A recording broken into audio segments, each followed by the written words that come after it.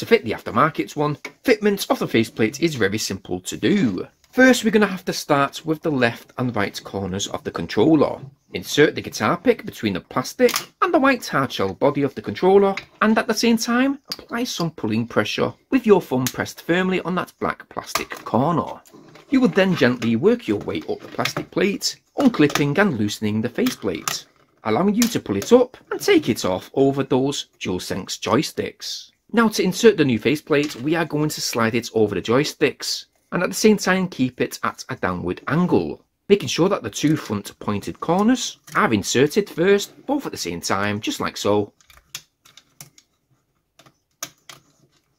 And firmly, we're going to apply some gentle pressure just to simply press it down from the centre of the faceplate and manoeuvring our fingers down the left and right sides, having all the clips clip into place and well, it's as simple as that really.